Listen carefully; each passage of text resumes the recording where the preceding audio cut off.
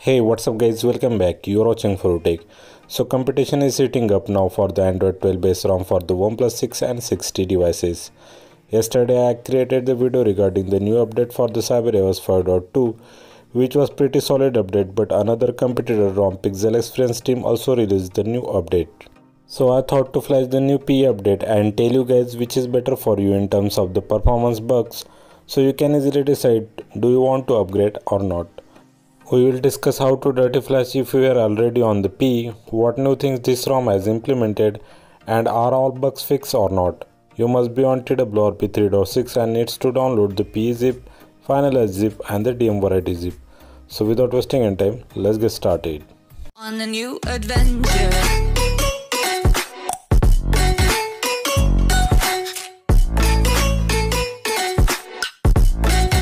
So before proceeding remove all the pin password from the setting. Now reboot to the TWRP by using the advanced reboot if you are on the Syberia ROM. If you are on the PE just power off your phone and long press volume down and the power button. It will boot to the TWRP.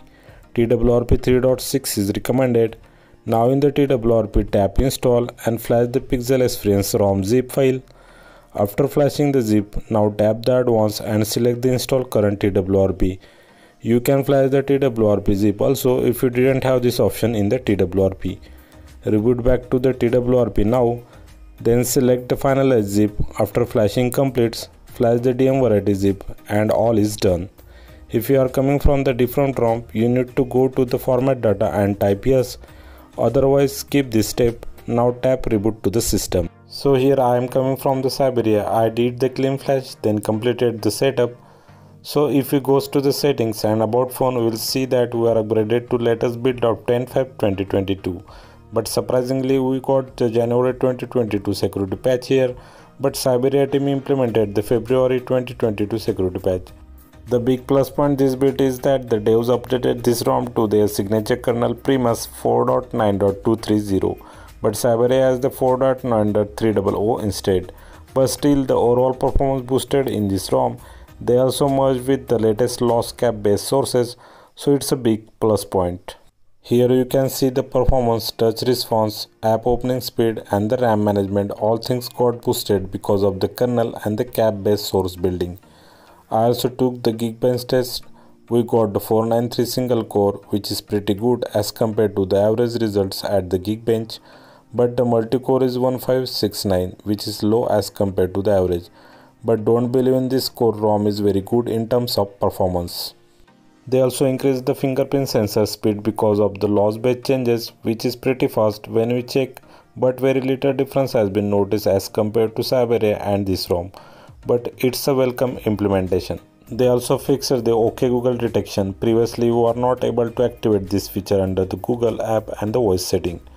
Now it's available you can set your voice activation and now it's working too. Surprisingly ok google is also working in off-screen mode which is very good feature i think.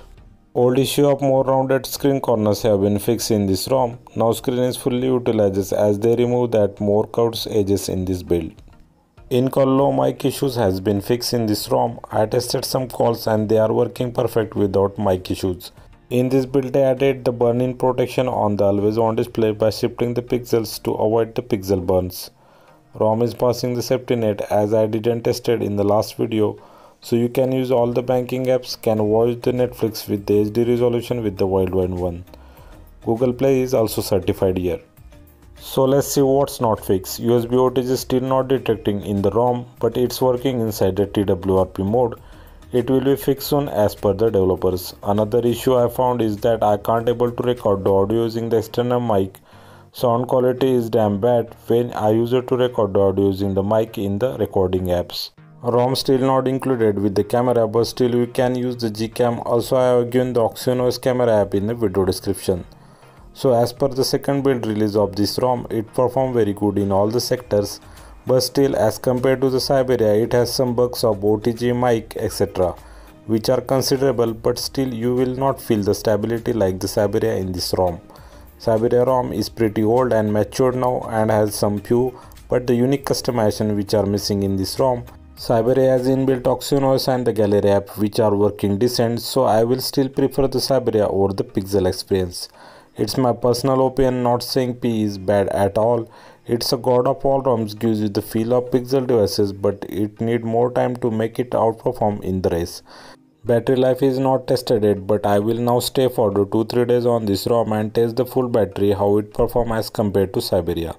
So that is for today guys. If you think I help you, please do like and share this video, subscribe our channel, press the bell icon for the notification of our upcoming content. Thanks for watching. See you next time. Bye bye.